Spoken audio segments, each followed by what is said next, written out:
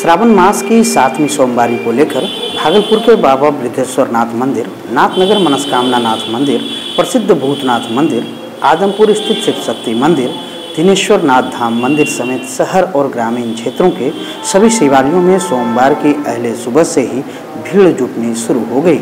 एक और जहाँ विभिन्न जगहों से पहुँचे कांवरिया ने भोलेनाथ के शिवलिंग पर जलाभिषेक किया, वहीं सावन की सातवीं सोमवारी पर व्रत और पूजन करने वाले शिव भक्तों ने भी दूध एवं गंगा जल के साथ बेलपत्र, धतूरा, फल, फूल चढ़ाकर महादेव की पूजा कर मनोवांछित फल की कामना की।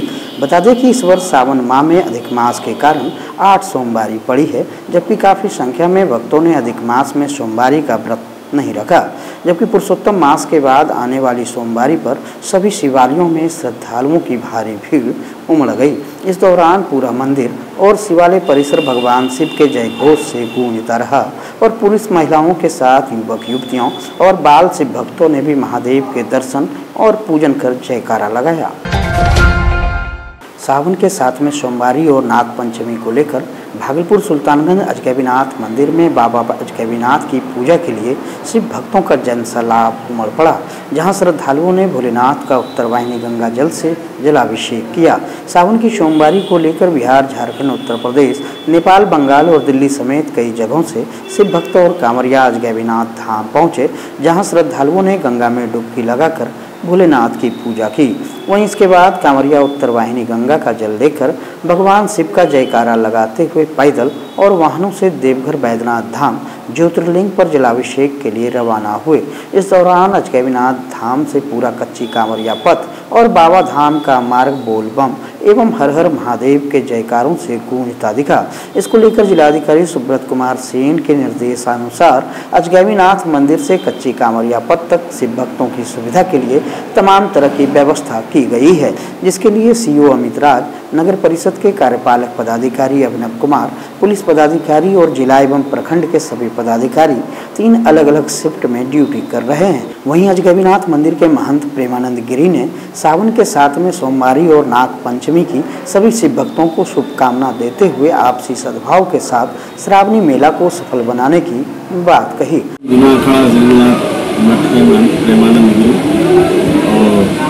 श्री शुद्ध श्रावण का सोमवारी है और नागपंचमी भी है और इस लेकर के और श्रद्धालुओं का सोमवारी भी की वजह से जो है श्रद्धालुओं से भी शामिल हुआ और तीसरा श्रावण है।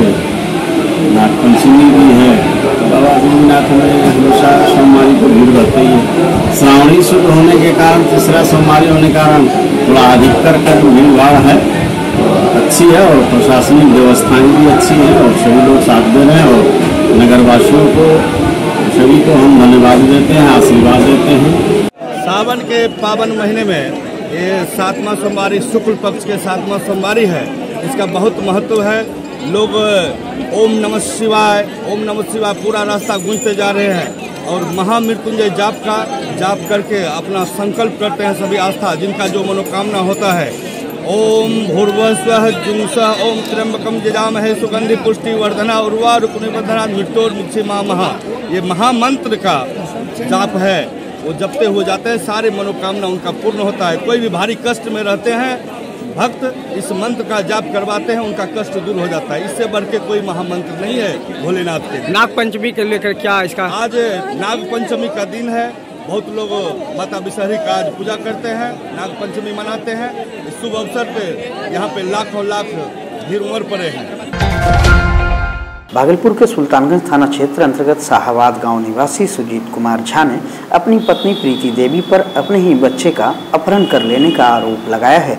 इसको लेकर सुजीत कुमार झा ने कहा कि उनकी पत्नी प्रीति देवी से उसका घरेलू विवाद चल रहा था, जिसको लेकर कुछ दिन पूर्व आरोपी महिला प्रीति देवी नवगछिया स्थित अपने मायके चली गई थी। वहीं इसके बाद से उसके पुत्र अंश कुमार का भी कुछ पता नहीं चल रहा है, जिसको लेकर सुजीत कुमार झा ने अपने भाई संजीव झा और पत्नी पर शक जताते हुए कहा कि कुछ दिन पूर्व संजीव ने उसके बेटे को भगा देने की धमकी दी थी, जबकि प्रीति ने अंश को फ़ोन कर नानी घर ले जाने की बात कही थी, जिसके बाद से बच्चे का कुछ भी पता नहीं चला है। इधर अपने पुत्र के नहीं मिलने से परेशान सुजीत कुमार ने सुल्तानगंज थाना में शिकायत दर्ज कराई है इसके बाद पुलिस मामले की जाँच में जुट गई है।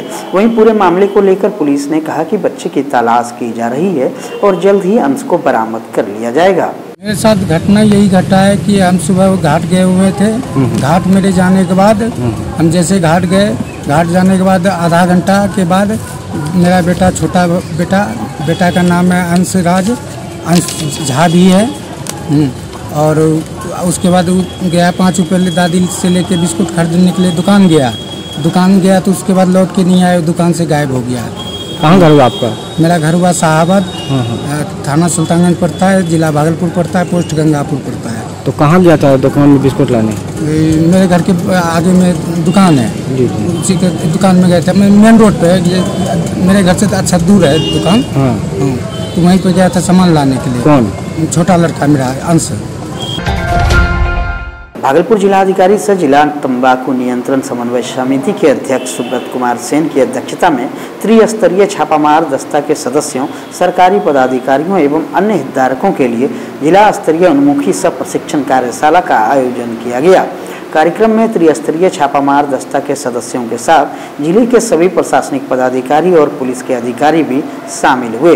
इस दौरान डीएम ने कहा कि तंबाकू के सेवन से न सिर्फ़ सेहत पर इसका दुष्प्रभाव पड़ता है, बल्कि काफ़ी आर्थिक नुकसान भी होता है और तंबाकू सेवन से दूर रहकर जीवन के साथ आर्थिक नुकसान को भी बचाया जा सकता है। के अलावा जिलाधिकारी ने तंबाकू नियंत्रण के लिए छापामार दस्ते को ज़रूरी दिशा निर्देश देते हुए कहा कि शैक्षणिक संस्थानों के सौ गज के दायरे में स्थित सभी तंबाकू उत्पाद बेचने वाले दुकानदारों को हटवाया जाए और सभी अधिकारियों के कार्यालय में तंबाकू मुक्त क्षेत्र का बोर्ड लगाकर नियमित रूप से छापेमारी करने के साथ सरकारी निर्देश और आम लोगों के हित का ध्यान रखा जाए। कार्यशाला में डीडीसी सिविल सर्जन, तंबाकू नियंत्रण के जिला नोडल पदाधिकारी, डीपीआरओ और पुलिस उपाधीक्षक समेत कई पदाधिकारी उपस्थित थे। सर दर्द चक्कर आना गर्दन दर्द कमर दर्द लो बैक पेन स्पॉन्डिलाइटिस लकवा पैरालिसिस गतिया साइटिका पोलियो घुटनों का दर्द आर्थराइटिस नसों का सूखना frozen shoulder ligament cartilage sports injury spinal cord injury हाथ पैर सुनने लगना जैसी अन्य बीमारियों का इलाज करवाए doctor Praveen Kumar Jha physiotherapist advance neuro diagnostic and physiotherapy centre Gramin bank के नीचे हटिया रोड तिलका मांझी भागलपुर बिहार कॉल करें nine four three one double four double six double zero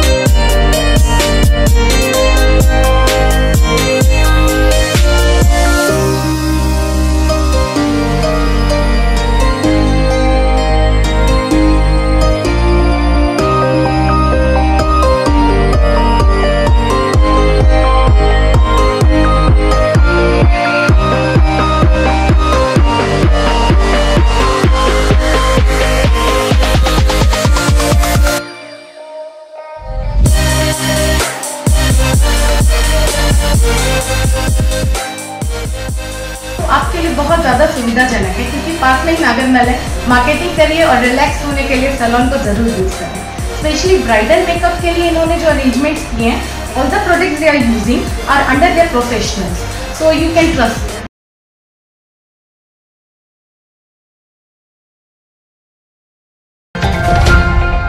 Bhagalpur में गंगा का जलस्तर धीरे धीरे कम हो रहा है, जबकि इससे पूर्व गंगा के बढ़ते जलस्तर के कारण निचले इलाकों के कई जगहों पर कटाव शुरू हो गया, जिससे लोगों के बीच अपने आसियाने और खेत को लेकर काफ़ी डर का माहौल बना हुआ।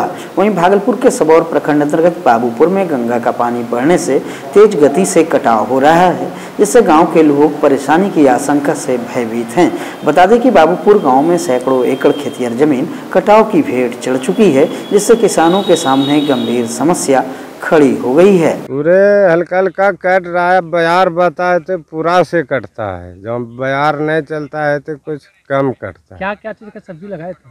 सब्ज़ी तो परवल बोड़ा भिंडी बैगन फ़सल तो यहाँ सब किसान सब तरह का लगाता है। हम लगाए हैं परवल लगाए हैं बैगन। कितना कटा हुआ? फ़सल कम से कम दो चार सौ एकड़ कट गया है यहाँ से इंग्लिश तालुक। क्या कीजिएगा? क्या करेंगे? अब आप सिनी का मर्ज़ी होगा तो कुछ रुकना करिएगा। रोकर प्रयास करो आरो की कर। सकते बिहार में शिक्षा और सरकारी विद्यालयों की लचर व्यवस्था हमेशा चर्चा में रहती है जिसकी तस्वीर अक्सर देखने को मिलती रहती है। लेकिन अब एक ऐसी तस्वीर सामने आई है, जो आपको हैरान कर सकती है। दरअसल भागलपुर ज़िले में एक ऐसा सरकारी विद्यालय है, जहाँ कक्षा में पढ़ाई के दौरान छात्र छाता लेकर पढ़ाई करते हैं।